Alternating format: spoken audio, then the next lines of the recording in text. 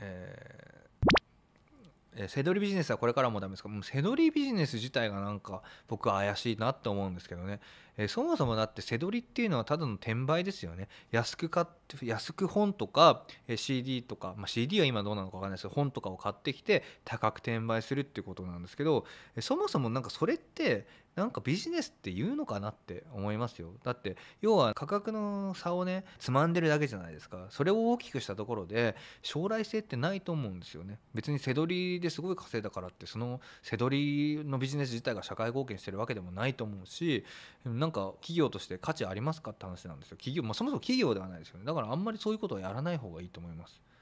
先がないと思いますね。まあ、それでお金をねお金をあの貯めるっていうんだったら一つ考え方としてあるからありだと思いますけど、うん、あんまり僕はお勧めしないですね。